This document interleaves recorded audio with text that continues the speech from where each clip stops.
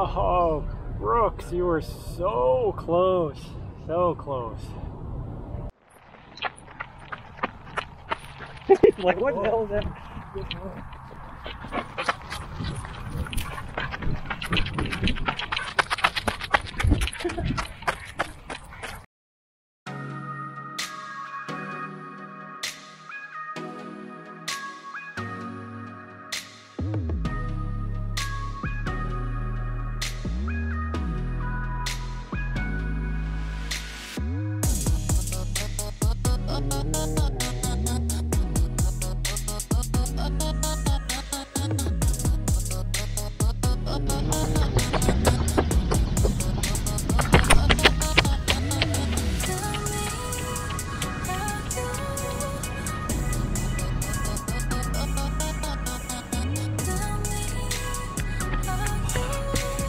It is a hot one out here. Holy cow.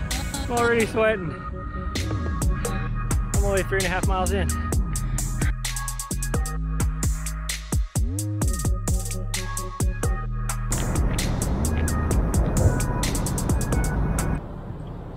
Good morning, YouTube fam.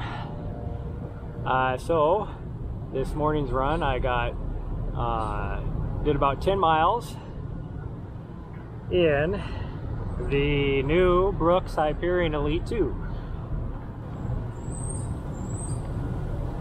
Oh, so many good things about this shoe. I uh, was supposed to be doing 16 miles this morning, but I had to cut the run short because of a major issue that I have with this shoe. I'm going to get a little more into the technical aspects than I normally do. Uh, just because uh, I had so much excitement over this shoe and it's still so new uh, that, that uh, I, I figured I would give a little bit more extra. So, we're going to start off, we're going to compare it to the Brooks Hyperion Elite. Version 1, version 2. As you can see, the there's a big difference in the sole, the stack height. This is a little, this is a higher stack height. Normally, I'm not a big fan of higher stack heights. Uh, I actually like this one. Much better than this one. I like a good ground contact feel. That's one thing I did like about these shoes. Uh, but this, the, the ver first version I would definitely put into a, uh, the more half marathon versus a marathon category this has a lot of potential for a full marathon racing shoe. On my run this morning, uh, I felt fast in it. I actually, it was propelling me to go fast. Uh, the higher stack height, one thing I don't normally like about that is I feel a little more unstable. I like, that's why I like that ground contact feel.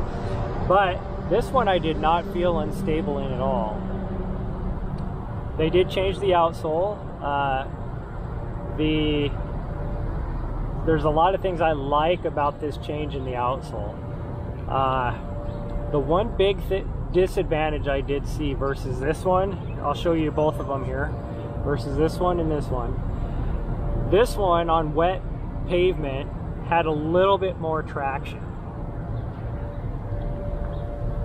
This one this morning, it rained last night, uh, so this morning on the run, on some of the pavement and, and uh, concrete trails that I was on, were a little slick with just a little dampness on on the uh, the path. So I, I did slip a little bit. I tried to push myself to about a five minute pace on one section, uh, but it was wet and I was losing so much energy uh, because it, it, was actually slipping. The, the, the shoe uh, when I was trying to do my toe off was actually slipping on the on the wet. It wasn't even really wet. I would say damp uh, uh, conditions.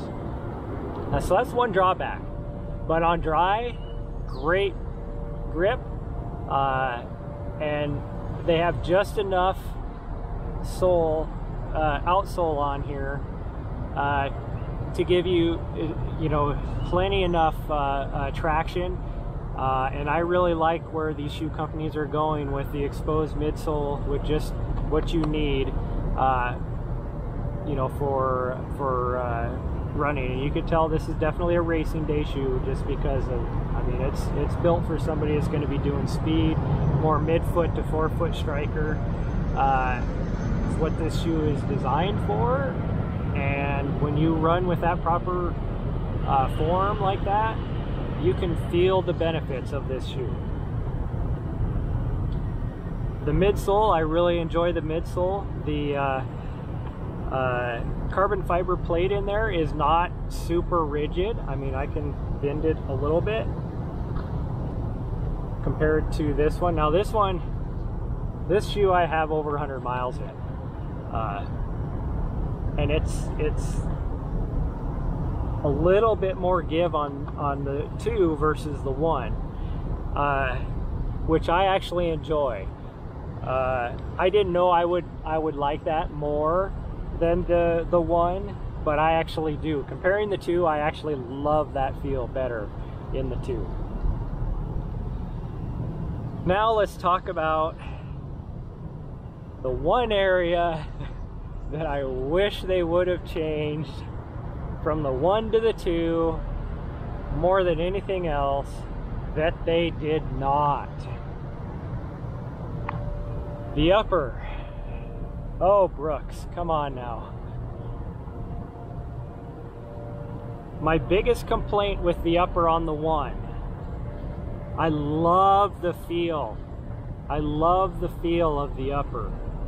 Around the midfoot, uh, the toe felt great. These laces, even though they're stretchy and I have 10 miles more lace than I need because I have such a narrow foot that I have to cinch down the laces pretty tight, I can get past that.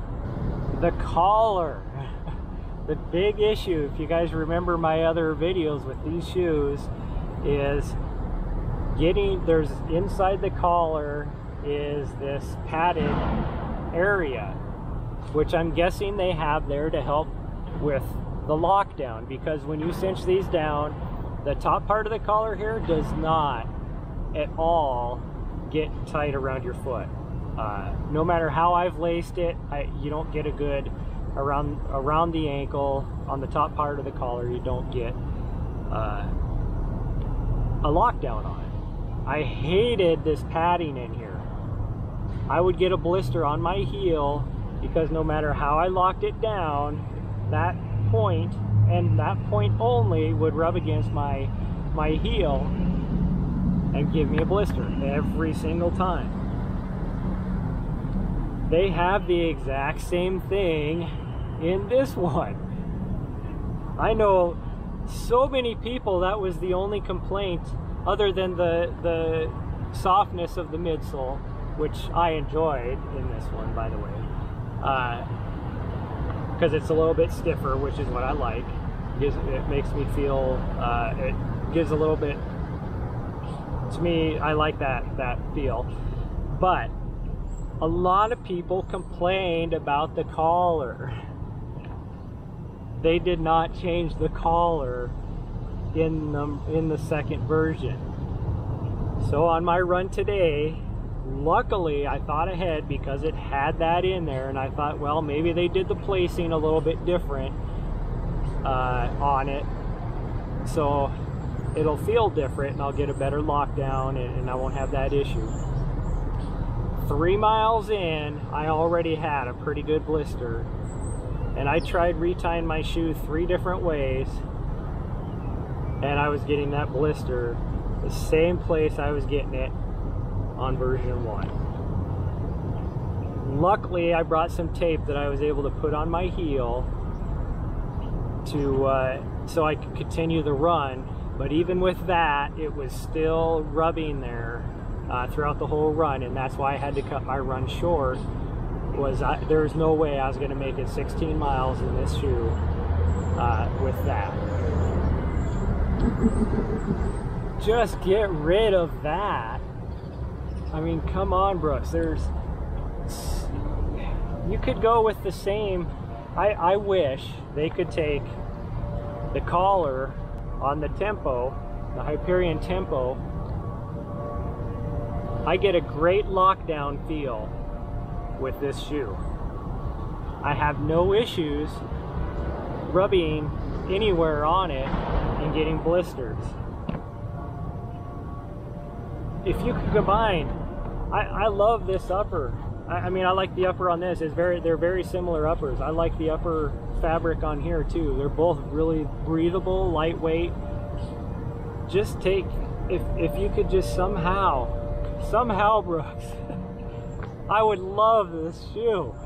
Oh, that is, that is a major thing for me as to why I will I will not race a marathon in this shoe. So let's talk about sizing. I had to go I got true to size on this shoe and I had so much extra length in the toe box. So I did half a size smaller on this shoe.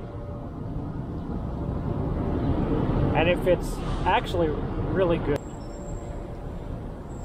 The length uh, of the shoe was spot on. The amount of, of room in the toe box was spot on. Uh, I'm, I'm, I glad I decided to go half a size smaller on this one since I, I went true to size on the first uh, first version.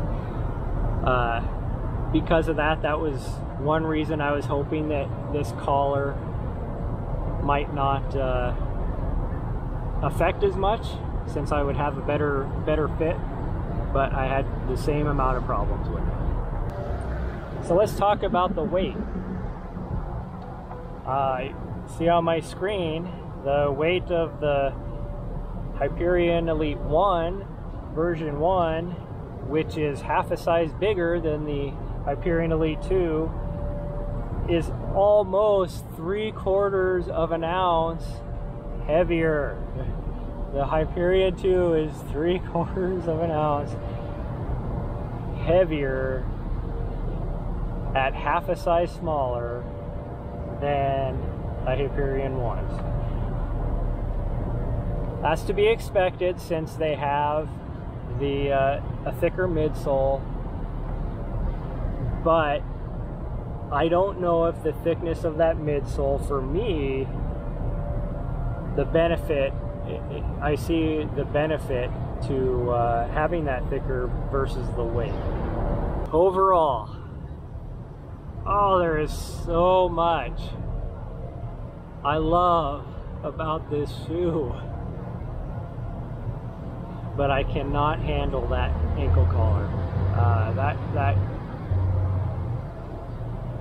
I I oh Brooks.